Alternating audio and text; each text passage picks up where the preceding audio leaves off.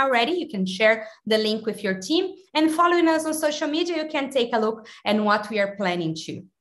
Uh, first announcement that I want to make, as I've been doing this entire month of January, is that Congenital Heart Academy is an official educational partner of the World Congress of Pediatric Cardiology and Pediatric Surgery and Cardiac Surgery. So please save the date. It's going to be in 2023, August and September uh, in Washington, D.C. We are very happy that uh, Dr. Gil Wernovsky is one of the co-chairs and the team is preparing an amazing meeting to all of us. And it's more than time for us to meet live together, in person together. So it's going to be amazing. And soon we are going to announce what the educational activities we are, we are going to be doing during this year in preparation to the World Congress. So keep an eye on our social media and we are going to know about everything. On Thursday, we are going to have another uh, episode of our fetal cardiology series. It's going to be a very nice meeting. So please, if you're interested in, in fetal cardiology, please join us this Thursday.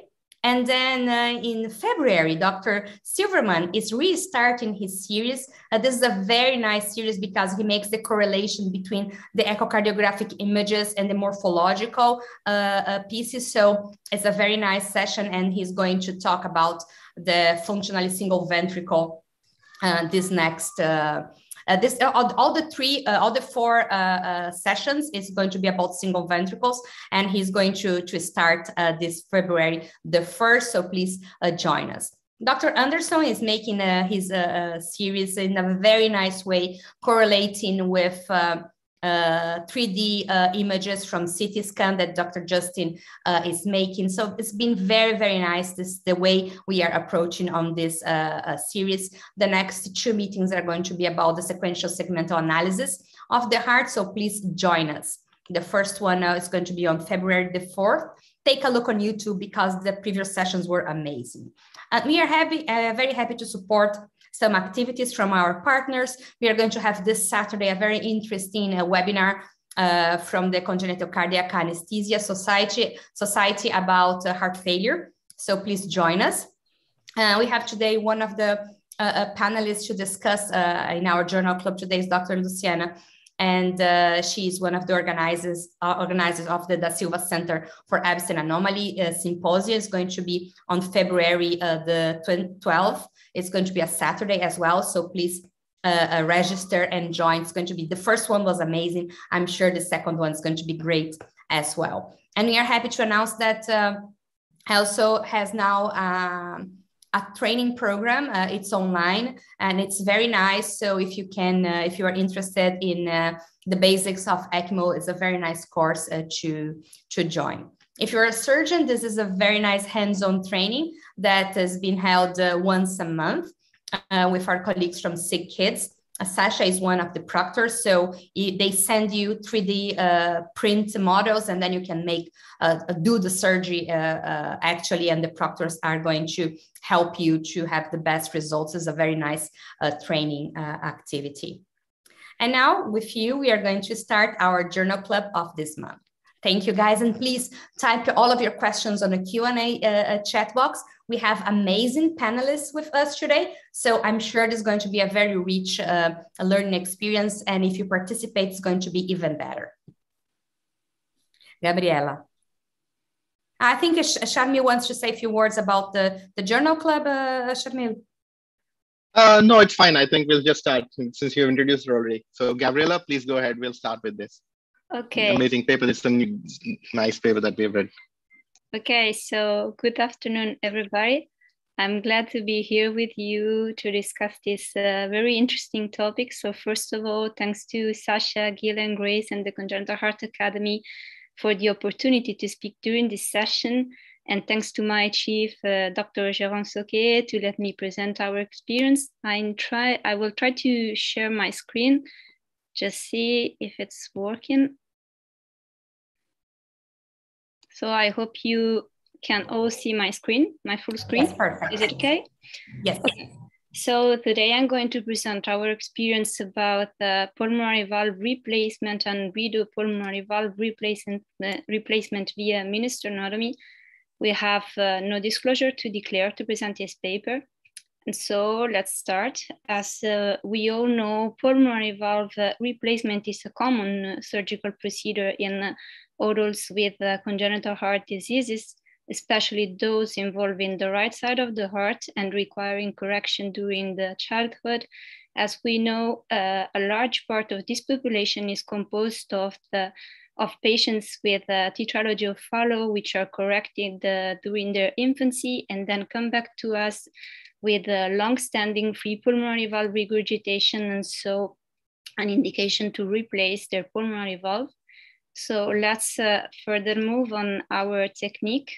We usually uh, perform an L-shaped uh, uh, mini sternotomy to approach the pulmonary valve and to make this procedure as safe as possible, uh, we deem to be uh, really um, uh, we, need, we deem to be really important to have a preoperative evaluation of the patient, which is usually made with a preoperative CT scan, which is integrated with a three-dimensional reconstruction of the mm, pulmonary of the of the sternum and of the CT scan, which allows to us to find the appropriate uh, intercostal space to perform the lateral extension of the mini sternotomy.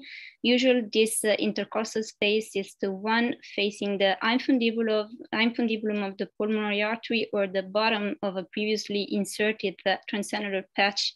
In case of redo procedure, you can see here a nice reconstruction, uh, 3D, uh, nice 3D reconstruction of the CT scan. And we're going to further discuss this with a short video later then the procedure is performed under general, general anesthesia and normothermic cardiopulmonary bypass. And usually because of the minimally invasive approach, we use to cannulate the right femoral vein, either percutaneously or with a short cut down. As I said, the procedure uh, begins with the appropriate L-shaped uh, mini-sternotomy skin incision, which is carried down from the manubrium of the sternum up to the uh, second intercostal space uh, most frequently.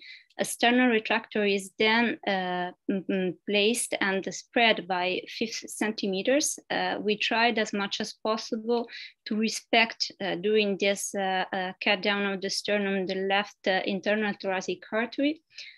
Then, as you can see here, the second crucial step of our procedure is to um, careful, carefully and extensively dissect the thymus tissue and the anterior mediastinal fat tissue, which lies just in front of the great vessels, uh, uh, so the aorta and the, the main pulmonary artery, which needs to be nicely and extensively developed.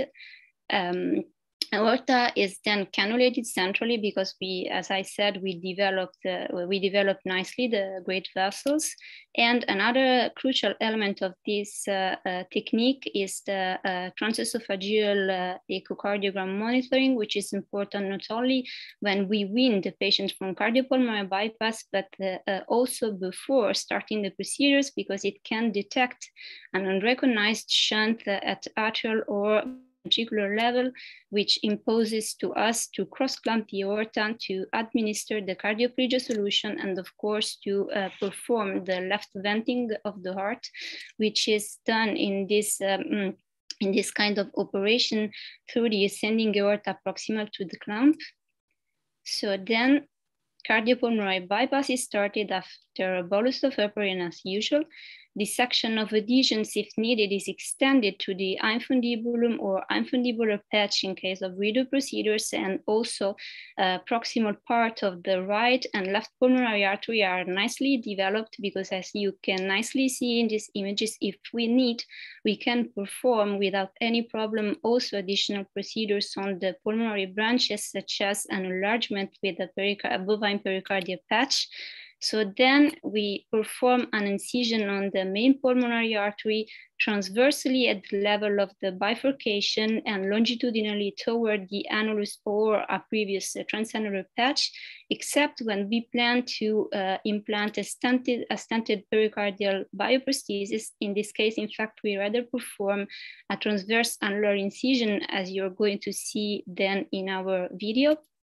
Uh, from this moment on, all we have to do is to resect the pulmonary cusps as well as any previously inserted patch or material. And then pulmonary valve replacement is performed, choosing in between different options, uh, depending mostly on the age of patients. In fact, our policy is to offer cryopreserved the pulmonary homograft to patients uh, uh, aged less than 40 while for the aged population, we can choose between uh, stentless porcine valves or as a freestyle or stented pericardial bioprosthesis. As I said before, pulmonary branches can easily be uh, patched through this approach without uh, um, any further problems. So here I present to you a short video which is about one of the patients of uh, our series. It was uh, a 52 years old uh, patient who was uh, repaired at the age of seven for a tetralogy of Fallot without any transannular patch. She was lost to follow-up for 33 years, and then as, uh, as it was expected, uh, she came back to us and to our attention for a severe pulmonary regurgitation with dilation of the right cavities, so a very high indexed uh, end diastolic right ventricular volume and then enlarged pulmonary annulus. Here you can see the images I showed uh, before. So the nice 3D reconstruction of the CT scan. And uh, uh, for this patient especially, it was uh, very useful to have the sternal wires from the previous procedure because we found that the infundibulum of the main pulmonary artery lied just between the second and the third sternal wires, which nicely corresponded to the second and third intercostal space. So we could plan before the surgery our incision, which was uh, uh, up to the second and third intercostal space. And also considering the age of the patient, we decided for this case to use a stented uh, bioprosthesis uh, to perform the replacement. And of course, to put this kind of prosthesis, we performed, as you can nicely see in this drawing, a, a, transverse annular incision. So you can see, as I said, the first step of the procedure, so the skin incision and the dissection of the appropriate uh, intercostal space. In this case, of course, we had to remove sternal wires for the, uh, from the previous surgery and a repeated sternotomy so was used. Uh, in this patient, uh, actually, it was expected that the redo uh, would have been safe because, uh, again, the preoperative scan was very useful to see that the great vessels were pretty far from the sternum, so we expected to have no problem during the cut down of the bone. So as you can see, the lateral extension of the sternotomy is made just above the cartilage of the fourth uh, intercostal space. Then we complete the sternotomy and the tissues are carefully freed, freed from adhesions as you can see, it's very useful for the senior surgeon to stand on the left side of the patient while carrying on the dissection on the right side of the sternum, especially on the ascending aorta. Here we gently spread the sternal retractor up to uh, mm, five centimeters and we nicely developed the great vessels, feeding them from the uh, thymus tissue and the anterior mediastinal tissue. Um, I just stop a moment because this is a very important, this is a very important step of our procedure and uh, it's um, useful to do this maneuver. So to speed up really gently the sternal retractor, if we have very deep uh, uh, great vessels and we have inflated lungs on the way, here we just expose nicely and further dissect the main pulmonary artery and the aorta so that we can perform the cannulation of the vessels. As I said before, the aorta is cannulated centrally. Here you can see also the cannulation of the vein so that cardiopulmonary bypass can start. We further um, uh, developed the main pulmonary artery and the branches uh, with empty art. And here you can see the transverse annular incision because as I said, we plan to put a stented bioprosthesis.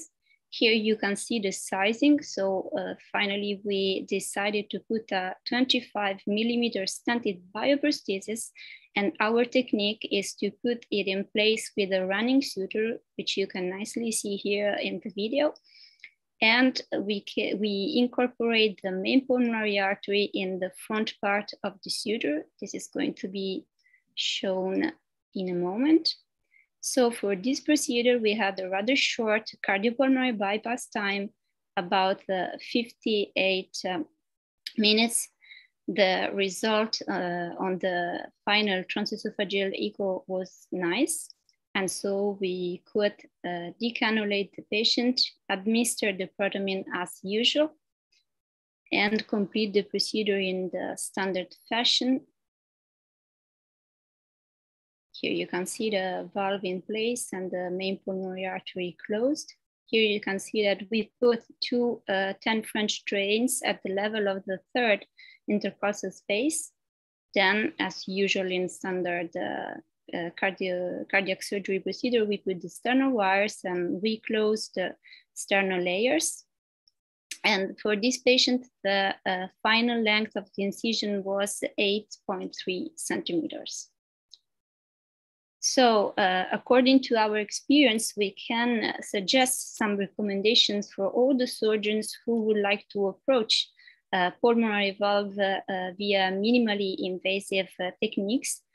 First of all, of course, it's intuitive that it's better to approach virgin chest patients before performing redo procedures Second uh, element, we should be underlined, safe and appropriate exposure of the infundibulum is mandatory. So uh, it's really important to have a good preoperative CT scan and a nice 3D reconstruction because it's uh, critical to have the good skin incision and the good uh, sternal incision to reach the great vessels then, as we stressed before, it's really important to uh, perform a systematic resection of the anterior mediastinal fat tissue because this is the only way to achieve a good exposure of the aorta and the main pulmonary artery. And as it was nicely shown in the video, it's recommended for the senior surgeon to stand on the left side of the patient while dissecting on the ascending aorta.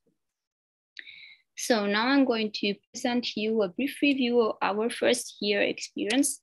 So we operated uh, eight consecutive patients with a median age of 31 years, uh, for, starting from December 2019 to December 2020.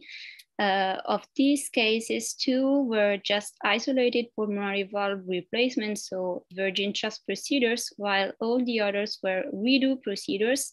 Of this, uh, uh, of this uh, latter, sorry, five were tetralogy of Fallot patients who underwent repair during their childhood.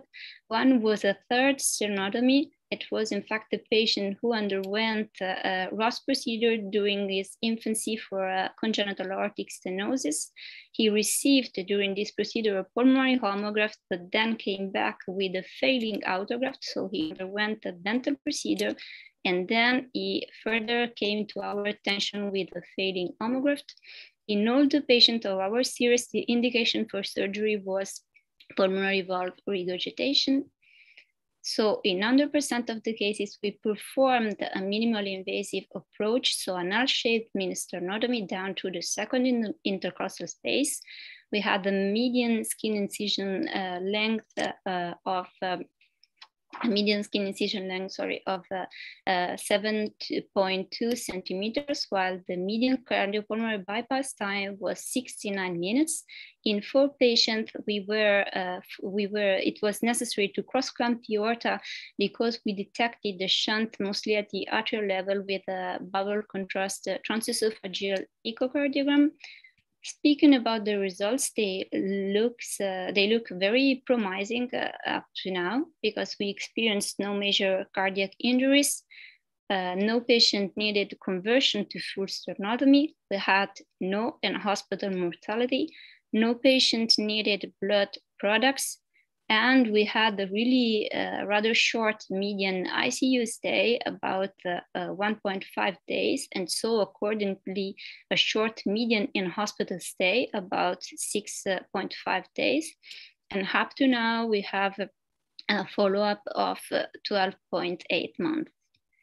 So, which can be considered the advantages of this procedure according to our experience? Of course, these advantages are mostly evident when we perform reduced sternotomy because a minim minimally invasive approach avoids a uh, challenging dissection on the right ventricle, which is typically dilated in this patient. So it can be very stuck to the inferior part of the sternum, which, are, which we are not going to develop in our approach, and so can be easily injured uh, we also noticed a reduction of postoperative drainage time with a minimal risk of tamponade in redo cases because atrial and ventricular adhesions are respected as much as possible. Of course, as a consequence, we noticed a fast recovery of patients with a, a, shorter ICU stage and uh, subsequently a fast home discharge. Also, we noticed some advantages of the mini-sternotomy approach also when it's compared to um, its uh, direct competitor, which is the left anterior mini thoracotomy approach for minimally invasive procedures on pulmonary valve. In fact, this latter approach uh, doesn't uh, allow to have a safe access of the aorta so uh, if we need to access the aorta, it's rather difficult with this cut and also it's difficult to cross-clamp the aorta if imposed by an intracardiac shunt. And another, and another advantage is that uh, thanks to the thanks to the mini-sternotomy, we can reoperate the patient and we don't don't to put to uh, to make another to make another incision on skin. Of course, as uh, all the minimally invasive uh, procedures, uh, uh, also our approach presents some limitation, and these are especially uh, evident when we have to perform other procedures requiring uh, extensive pericardial dissection, which can expected to be in this kind of population tricuspid repair or implantation of uh, pacemaker leads. And also patients with uh, dilated ascending aorta which can be in direct contact uh, with the sternum are not deemed uh, suitable for this procedure. And this can also be very typical for uh, patients with a tetralogy of Fallot, which represents the uh, larger part of our population. So thank you for your attention. Thank you, Gabriela. It was uh, uh, really good. And as a non-surgeon, I've learned a lot. And I think we have a lot of things to, to discuss today. And uh, I think we could uh, start the discussion. Of course, we don't have any question from the audience so far.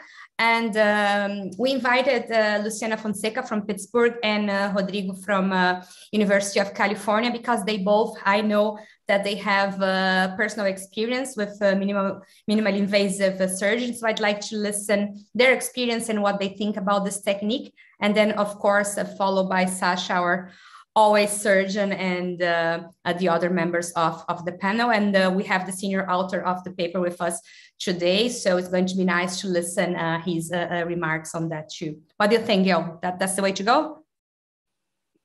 That sounds perfect. Thanks. Okay, great. Luciano or Rodrigo, who wants to, to start? Luciana first. I think you're muted, Luciana, please. Congratulations for the paper and for the presentation also, very good. And um, uh, I think this is a good approach, but of course it's not for uh, objective for aesthetic procedure. It's more for to avoid bleeding, major bleeding, and the dissection of the, the, the, the chest, unless the patient was not operated before, right? Um, so I, I, I really like minimally invasive approach, and I just sent a link for a paper that we published in 2005 in Brazil regarding our approach to uh, bidirectional Glenn procedure after Norwood. And we did almost the same, but going to the doing a, a L inverted towards the right side and and then we dissect uh, the aorta and the apex of the, the right atrium. And then we put the cannula. We didn't use the groin in that situation. I saw you you are using the, the groin. This is uh, good for adults uh, mainly. And uh, and then we were able to do Glenn procedure as a second stage for norwood. And we start doing that in our uh, early experience with the Glenn in Norwood because we, we lost a patient with infection, site infection in the, in the sternum. And then we had another case that we had bleeding due to the dissection of the heart. And this complicated the operation, and then the patient died due to multiple transfusions and things like that. So we, we started using that in Brazil, and we had really uh, good uh, results with that. So I, I think this approach for to avoid dissection of the heart in reoperations it's a, a, a, good thing and I, I, I even like if you open the all the, the the bone you don't need to dissect all the heart to do the replacement of the, the pulmonary valve so this i think this is the, the the main goal of this operation is to to avoid full dissection and uh, even you can do with the heart beating as you show in the last uh, last video to decrease the, the need of dissection of the, the, the aorta if you don't have any PFO or VSD that could bring air inside the blood of the patient. So um, I, I, I really like that. And if you, if you in the future we, you plan to avoid cannulation of the groin, you can also make a T, inverted T, cutting to the right side also to dissect the tip of the right atrium where you can install a cannula to drain the heart. So I think this is my my main uh, my main comments on that. And congratulations again again for the, the great presentation. Thank you, and thank you for the nice suggestion to avoid the groin. I think it's important to consider it. Yeah.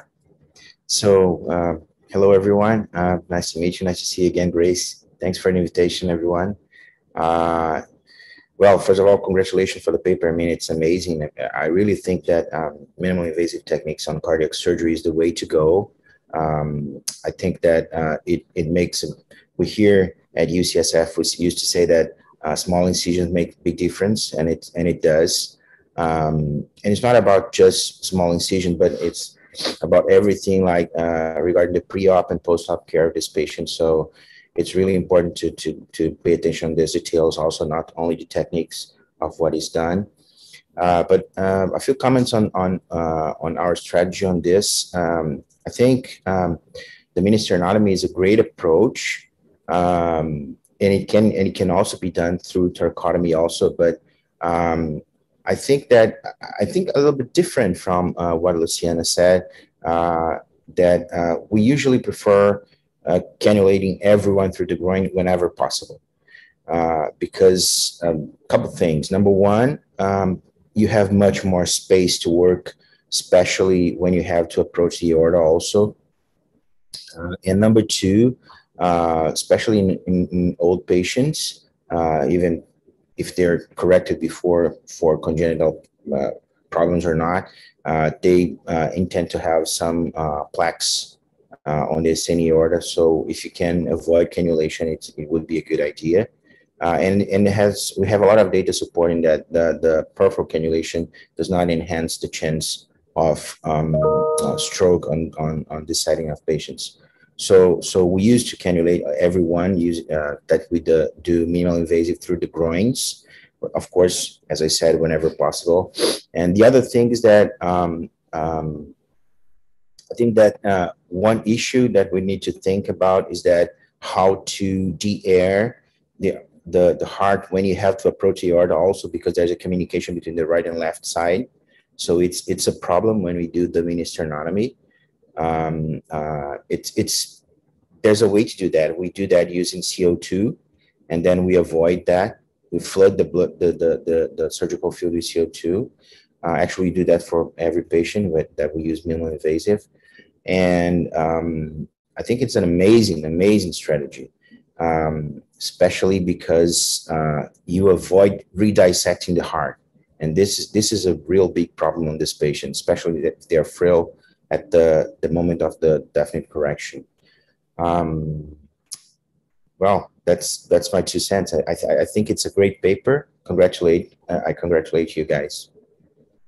Uh, I, I want to take another word.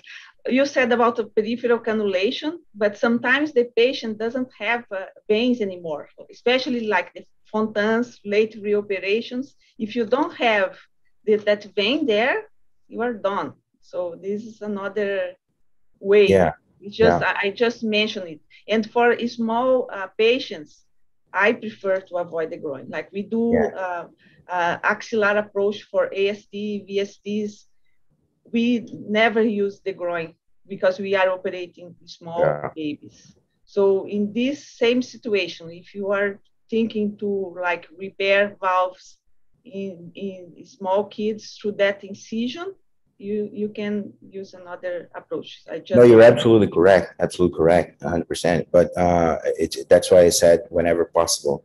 And uh, but one thing that is important that when you do use and and I I, I say that because you do a lot of redos here. So uh, when you cannulate through the groin, the the the good aspect of that, whenever possible, again, uh, is that you can do the, for instance, the redo operation much more safely at the beginning, with because everything is decompressed. So even if the aorta is close to the sternum, it's possible to access everything because everything is decompressed, like we do when we do um, um, uh, standard sternotomy. So, if possible, groin cannulation, especially in redo cases, would be would be uh, uh, a bailout plan to avoid any kind of uh, aortic injuries during the sternal opening.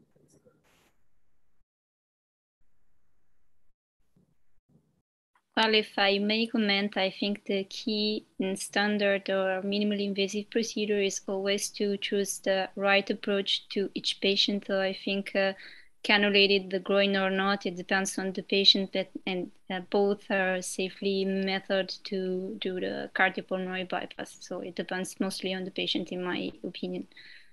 So I agree on both uh, strategies. Yes, I think uh, experience first, right? Like here, like here, we we, in my experience, I usually I don't cannulate the groin unless we had some problems. So we we usually start cutting the chest, dissecting with uh, care, and if needed, if we have some problem, then we go to the groin cannulate there. This is to avoid a long-term, longer period of cardiopulmonary bypass. Uh, and it works. It, but it, as you said, you need uh, to have experience. In your paper, you wrote that you need to do first one without, uh, that is not a redo, so you uh, will be a bit weighted with the technique, with the approach first. I think this is a, a, a good tip, like don't go crazy trying to do uh, innovations if you don't have good experience first with the normal uh, situation, right? That's totally agree. Gil? If I may comment, hello everyone. Um, yeah, sure. Uh, if I may comment on this point about groin cannulation, I sort of uh, agree and disagree with, with both, with Dr. De Souza and Dr. De Silva.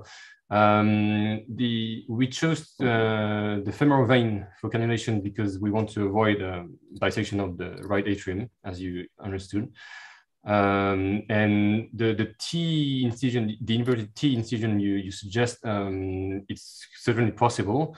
I just think it's probably a little bit less stable for closure um, postoperatively. Uh, and also, and the reason also about um, central arterial cannulation, that's uh, talking about uh, responding to Dr. De Souza, is because uh, I prefer personally to avoid the arterial, the femoral artery, because sometimes it's maybe small, sometimes it's uh, stenotic. Uh, they have multiple surgeries and catheterization. Um, and having a central cannulation, um, so you avoid damaging uh, this artery potentially. Mm-hmm. And also you have a forward flow and you ha- can put a bigger cannula. So uh, your perfusionist will like you because you can ensure a, a nice flow during uh, the bypass. So that's uh, yeah. Just just to um, just to complement uh, to complement something. Uh, when uh, we say peripheral cannulation, it doesn't mean necessarily femoral. Uh, and and sometimes, most of the times, actually, we do not we do not do cut downs anymore. We use percloses, uh, and it makes it easier, including if you want to like to cannulate a, a subclavian artery, you can do that axillary artery, you can do that without any problems. And it's going to be just a puncture site without any incision. Um, uh, but once again, I, I, totally agree with Lucian. I think that you should have experience on what you're doing and uh, or have someone proctoring you or anyway but uh, you should have someone really experienced with the method because uh, it's not worth it to risky uh, patient's safety because uh, you're trying to do some like like she said crazy innovation. Um, but uh, this this this might be another uh, access point. Like it doesn't mean necessarily femoral. Needs to be just peripheral because the point is to have more space to work and to have everything decompressed when you open the sternum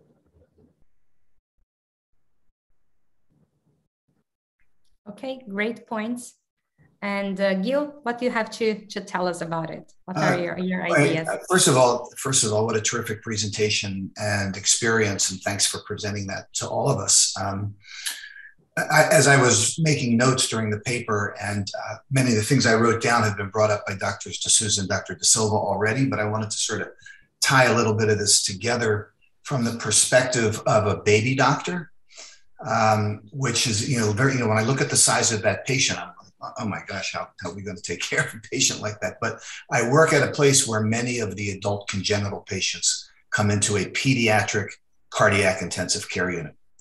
So what I wanted to um, just mention and wonder, and certainly get uh, your input, Gabrielle and, and, Jerome, from from your experience here, is um, um, you know what's so important in our in all of our patients is to know the prior history in detail. It can't be the details are so important. And i'm looking at the age of your patients realizing that the original operative notes are from last century. Um, and certainly now it may be very hard to find how that old procedure was done. Um, and you know patients having 30 or 40 years of um, comorbidities that may affect your decision to do this with this excellent technique versus a more standard uh, approach. Um, I, as I was thinking back to the way we provided intensive care for many of the children back in the day when they would have had this Ross procedure, for example, as you described, or, or a, a tetralogy repair, groin access was the standard. So it's not uncommon for these kids, now adults, to have occluded femoral vessels. As was said before, they've had multiple procedures and whatnot. And, and not only from a surgeon's perspective, but also from a postoperative perspective, I think it's very important that these patients have a complete evaluation of all of their systemic veins. So you, you showed your CT, but it's important for us to know is the IVC open? Is, are both femoral veins open, as was mentioned before, the axillaries and whatnot? Because it may not only be an issue in cannulation, but if there is a problem perioperatively, we need to know how to get in there fast. So that's an important part of the history of bringing that um, of bringing that in. And then I had really um, when people were talking about experience, it brought up one of my favorite quotes, which is um, "Good judgment comes from experience, and experience comes from bad judgment." You know, and and as Luciana said, you know, we had a, a, pa- a patient who had a lot of bleeding and whatever, and that sort of takes you into the next step and how we get these great innovations that uh, Gabriela you just presented. Um, the only specific question I had about it is I understand that it is helpful to make it safer in the OR. Is there any sense that you had either objectively or even uh, or subjectively about pain in redo mini sternotomies versus full sternotomies? Is, you mentioned the length of stay, and again, I don't take care of many adults, so I'm trying to figure out is there a, uh, a benefit in the perioperative period also? Thanks for letting me uh, just make a few comments.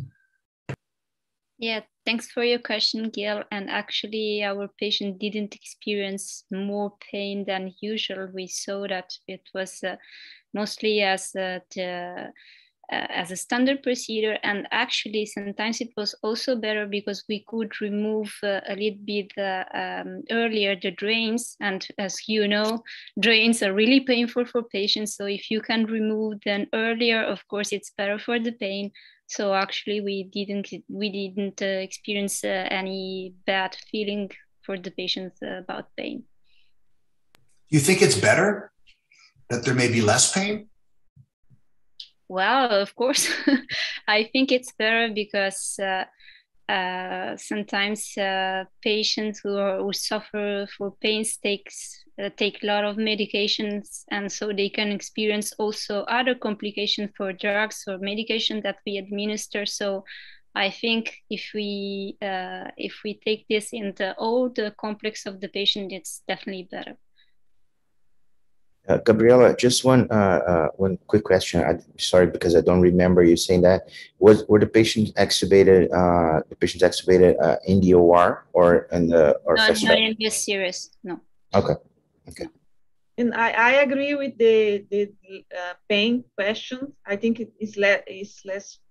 You have less pain because the the chest is more stable, and then even when the pa- the patient is taking taking deep breaths he will not feel the discomfort of the the moving of the bone in the lower part. It's more yes. there is more stability in the in the sternum. Yes, they do have pain. Thanks. Thank you. Haven't objectively assessed pain with questionnaires and uh, the general feeling of, of us from the surgical perspective and the post-operative perspective is that they they they have a nice experience uh, and they the pain is uh, certainly at a lesser level than for conventional full sternotomy. And what is also surprising uh, to talk about pain and scar and the, small incision is um, from redo patients. Um, so they already have a scar. Uh, but when they find out after the operation that we have been able to do a mini sternotomy, uh, surprisingly, they, they, are happy. Uh, well, you, you could think that they don't they don't care about having another full sternotomy because the scar is already there, but they are actually nicely surprised um, somehow. And I was surprised by the reaction uh, to have a small scar and also to have not an additional scar or an extended scar. So that's the other nice feedback we had from them. That was surprising. Great. There are some questions from the audience. Uh, Gabriela kindly answer uh, already, but I think they're uh, good points that we can use for the uh, discussion. There's one question about uh, uh, the vascular complications in the groin cannulation. I think Gabriela and Jerome could answer that. And uh, Rodrigo could add his experience with the vascular closure device because it's the next question if uh, the complications are, are uh, higher in patients that uh, when it's used the vascular closures device. As a cath lab doctor, I would say it's very safe and uh, controls very well uh, the bleeding, but I've never, of course, our equipments a little bit smaller than what is used for, for a bypass. Gabrielle, if you could uh, start talking about the vascular complications. Sure. Actually, we didn't experience uh, vascular complication in this series, although it's a small number of patients, so this can be, of course, confounding. But actually, I think it's mostly because also we avoid, as Jerome uh, said before, cannulating the artery, which is the most uh, common source of complication. So we just cannulate the vein, and although also the vein can get to some complication, I think it's safer to just cannulate the vein and perform central cannulation of the aorta. So if Jerome wants to add something. Yeah, for, for the vein cannulation, we we used to start with a cut down, and as the experience uh, went further, we stopped uh, doing cut downs and we just do uh, it percutaneously. Uh, we we do cut downs though uh, when we think there may be some risk uh, of uh, great vessels injuries, um, and that we need to do on bypass and via uh, the femoral artery. In that case, we do cut down. But when from CT scan we see that the aorta and the pulmonary artery are very far from the sternum, and we know it's going to be very safe, we just cannulate um, the vein and uh, percutaneously, and then uh, the aorta centrally. Yeah. So um, about the the percutaneous techniques of um, controlling that, um, actually, I, I, don't I don't see many complications on that. As as Grace said, I mean it's it's pretty pretty safe device. Uh, it's very I mean it's used a lot all around the world. So there's huge amount of experience of everyone about that and um, generally we can we can control. Uh, we put during the insertion of the arterial cannula, uh, we do put two percloses in and at the positions of um, two and 10 uh, hours. Uh, and um, one thing that we used to do is when we remove the arterial cannula at the, cannula at the end, we keep the guide wire in. So um, if needed, we can insert, we have a control environment. So we can, uh, if the bleeding didn't stop, then we can insert a third perclose. And, and I mean, in our experience, 100% of the times, I mean, and I'm telling them more than 3,000 minimally invasive procedures, um, it is um, like most of the times the, the bleeding is controlled. And um, I know that by um, by the book, everyone should have um, a controlled um, angiogram after percloses insertion, but we can do that control with the ultrasound also. And if there's good flow and no stenosis, uh, then we're fine. Yeah, that this would have been my question about stenosis after using this uh, system to percutaneous yeah, it, it, it, because it can be a problem, I think, on small arteries. So this was my coming question. Yeah, yeah, yeah. I mean, as as as higher as you use your arterial cannula, the less chance you have of stenosis because, of course, you do have a, a larger vessel, and the important thing is to to um, make sure that the positioning of the percloses are adequate. Because if you put them like one over another, then you go biting the artery in the same position. Grace knows that because she's interven- interventionalist and does that all the time. But um, uh, you you you go biting the, the artery in the same place, and then you and you create an indentation, and this makes the stenosis uh, worse. Sure. And um, I have one question for everybody. Do you think the minimally invasive is going to be the future, like uh, for everybody is going to be uh, the opposite, is going to be the standard of care, and then uh, the big uh, uh, sternotomies are going to be the exception, or we're never going to reach that? Is going to continue to be for us only selective cases? Well, I think as long as we continue showing favorable outcomes for minimally invasive surgery, then people move towards uh, this approach. Um, but I, don't think um, it is a, a goal, uh, although uh, I think a minimally invasive approach is, uh, is a tool. Uh, I was reviewing the, recently the I was reading about the, the recent consensus document on ERAS, you know, this enhanced recovery after surgery that was uh, published by the um, American Association of Thoracic Surgery because I had to do a presentation in my center uh, about this paper. And uh, I was surprised to, uh, to see that there was no mention at all uh, about minimally invasive approach, you know. Um, you know, early extubation, for example, is not a, a, goal, it's a tool for enhanced recovery of patients.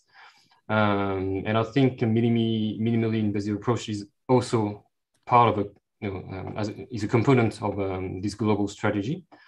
Uh, and so hopefully, yes, um, these kind of techniques will spread, well, thanks to this kind of webinar too. Uh, so I, I, think we will we'll move on towards. Uh,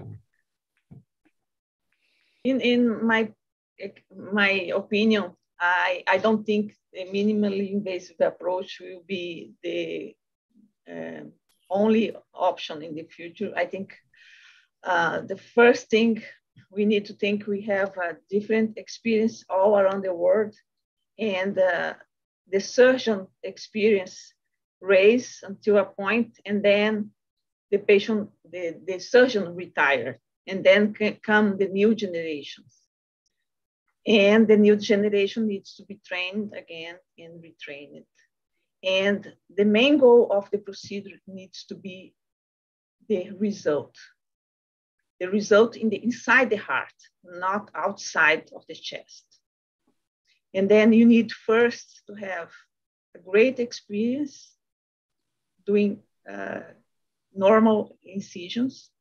But if you need, if you want to transition to small incisions, we need to keep in mind you must keep the same results not only the immediate result. We need to keep like doing the repairs as we would do in big incisions. And the, the repair need to last longer as in the normal incision.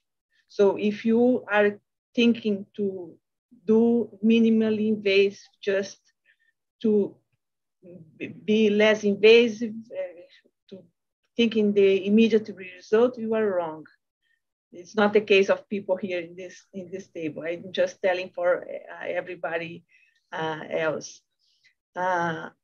The main goal of the procedure needs to be the long term, and this means for the heart and for the vessels also.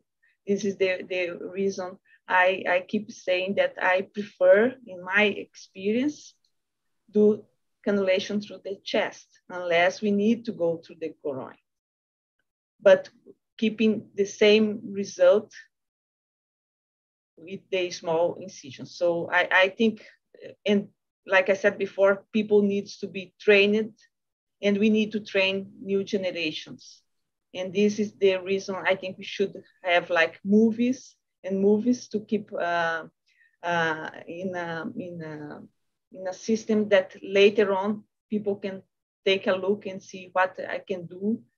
If the people like Dr. Roger Mee in 19 in the 90s, he was having great results in transposition of great arteries already, almost zero mortality. And we need to train people to do to have that same result. It depends on the, the size of the incision. Thank you. If I just uh, make a comment as a young surgeon, I think uh, our advantage is that we, of course, can take look to the future with this uh, new procedure, minimally invasive approach. But I think we are lucky if we can also if we can also take an eye to the past because I think it's uh, useful to know all the kind of techniques we can use to be prepared for complications independently of our approach. And of course, I think if we know all the techniques that are available, we can choose the best technique for each patient and of course, uh, reach the best results and the best safe, best uh, patient safety.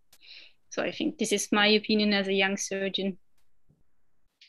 No, I, I, I totally agree, Gabriela. I think that um, uh, it's really, really important to a modern cardiac surgeon to have all their armamentarium uh, available. And uh, I wouldn't say that minimally invasive surgery is for everyone, for every patient, but I can tell you two couple things. Number one, most of the patients are demanding that. They're coming to us and saying, well, I don't want that uh, my chest cracked and um, this is a problem. This is a problem. I know we face uh, severe diseases, but this is something that we should uh, learn um, ways to to to go around, and and of course uh, using the guide the guideline as safety first. But we need to have uh, solutions for that. I mean, and um, the other thing is that uh, in our program, for instance, we always think about doing something minimally invasive first uh, and there's some patients that are not indicated to do that, or they have contraindications to do that. And then we go for um, um, uh, standard techniques. So it's really important for the modern cardiac surgeon today to have uh, all the, the percutaneous approach, the minimally invasive approach, the open open chest approach, and we, we should offer that all this um, this um, menu, as I can say that, uh, to the patient um, on a case by case basis, selecting which one is the best for the patient. So I, I don't think it's a rule that's going to be to everyone, but it should be offered to everyone that is um, is a candidate to. And we should tailor that because of the patient, not because of the surgeon. Totally agree. Um, not always. Sometimes you need to say to the patient that it's not possible, right?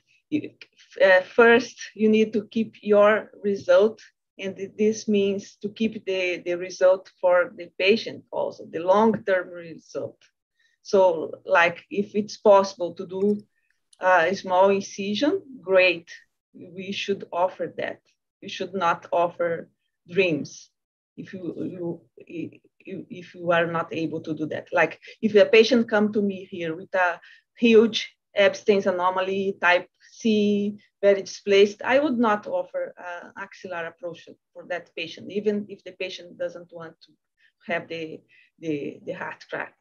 Special situations, special techniques, counting with the armamentarium. This is my opinion. True. Jerome, do you want to make more comments about uh, the, the paper itself? Yes, so, so, um, so uh, first, thank you for the opportunity to present this, uh, for this, uh, this paper. Um, my, my first comment is um, about the fact that it's not about surgery uh, because uh, I think it is not possible if the whole team is not involved. Uh, if the surgeon decides uh, on his own he's doing minimally invasive surgery, uh, but if there's no fast track, if uh, for example, there's, there's no point. Um, I think it has to be a multidisciplinary work. so I'm curious about your insight and also the, the, the audience insight, especially the intensivist because um, for example do you if you see a patient coming with a small incision do you act differently uh, do you extubate them earlier? Um, is there any different pain management? Uh, so you, you understand that um, this is a global approach. Um, we have a, a very nice um, adult uh, cardiac intensivists here Lille um, and these patients even if it's a third, fourth sternotomy, mini sternotomy. Uh, in complex patients, they are willing to extubate uh, in the first hours uh, after surgery because they see that patients are stable. Um, but if you're facing intensivists who are a bit more, uh, well, more conservative or scared, or like you may not obtain the same results. So it has to be a teamwork. Um, and same in the wall. Uh, the cardiologists also um, need to understand that yes, it's a complex surgery, but it's uh, less invasive procedures. And uh, so, and the goal is to have enhanced recovery. So there's no point keeping the patients um, in hospital for nothing. Um, so this is my first thought, and that's why I I wanted I really wanted to have uh, among the co-authors uh, people from different specialties, like find radiologists, intensivists, um, and cardiologists, and not just uh, surgeons. Uh, the second comment is um, is the difference between adult and pediatric and congenital heart surgeons. I think um, we have a lot to learn from adult surgeons. Uh, I think they're more advanced than congenital surgeons uh, when it comes to minimally invasive approaches.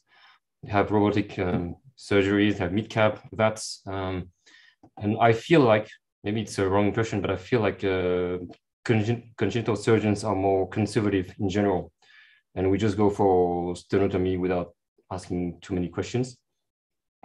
so I think we have to learn from them. and that uh, you a congenital heart surgeon cannot start uh, uh, a minimally invasive program on his own. So he, it has to uh, he or she has to train um, in adult surgery first, and that's the first principle.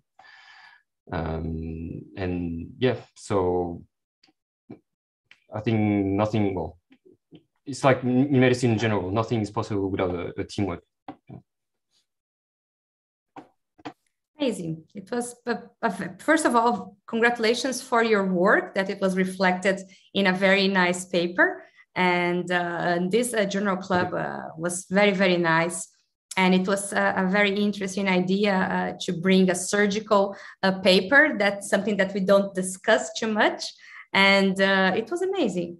I don't know if anyone else has a final comments, but, but this has been a, a very nice session. Thank you.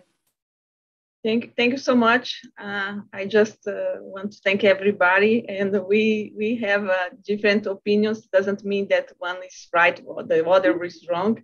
It's just uh, like our experience, and that's it.